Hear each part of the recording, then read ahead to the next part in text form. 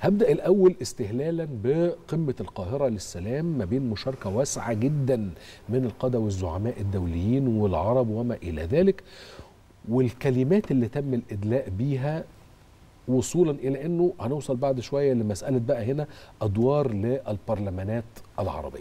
بس هبدأ الأول بالقمة. هو أنا عشان أتكلم عن قمة القاهرة للسلام آه، أنا بس عايزة أدي خلفية صغيرة جدا على الدور المصري. اللي أدى لهذا. الحضور الكبير جدا.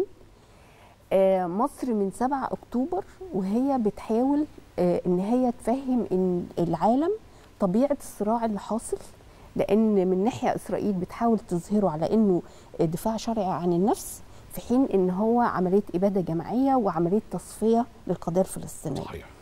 من ناحية أخرى اللي كان بيساند ال ال ال الرواية الإسرائيلية الصحف الأمريكية والصحف الغربية عموما وإحنا لاحظنا الترويج لسيناريو النزوح إن إنه هو السيناريو ال- الوحيد لحل القضية الفلسطينية.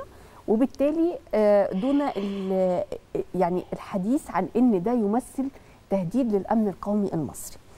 بالتالي السيد الرئيس كان ليه تحركات سريعة جدا ورسائل مباشرة آه، بدأها في تخريج آه، الدفعة آه، الكلية الحربية.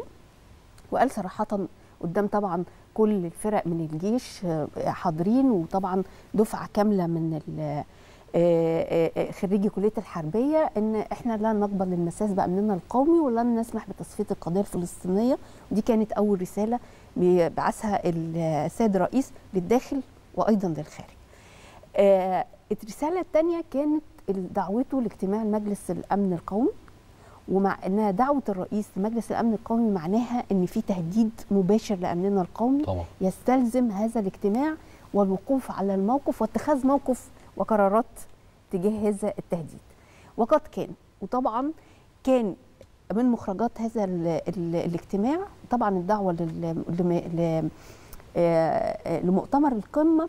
والحقيقة إن أنا شايفة إن هي يعني الرئيس بنظرة استباقيه ووجد إن هو لازم يضع المجتمع ال- ال- الدولي أمام مسؤولياته تجاه هذه القضية المحورية اللي بتؤثر على الأمن والسلم مش الإقليمي فقط ولكن الدولي أيضا. بالتاني أكد طبعا على إن هو بيرفض تماما تصفية القضية الفلسطينية على حساب أمننا القومي. آه، في المناسبة آه، الثالثة ودي كانت مفاجأة لينا كلنا كمصريين ويمكن للعالم كله أن يتم إذاعة حديث مع وزير خارجية الأمريكي بمباشر آه، آه، آه، يعني على قدام الناس كلها وال- والسيد الرئيس يشرح له وجهة النظر المصرية في حل القضية الفلسطينية من خلال حل الدولتين وأيضا يؤكد على رفض سيناريو النزوح. ولو إحنا شايفين في كل لقاءات السيد الرئيس سواء كان مع رئيس الوزراء ال- البريطاني أو كان مع وزير خارجية الولايات المتحدة الأمريكية وضع خريطة مصر في خلفه فبالتالي في رساله واضحة لحدود مصر المعترف بها آه، بالنسبة لنا وعلى رأسها الحدود الشمالية الشرقية.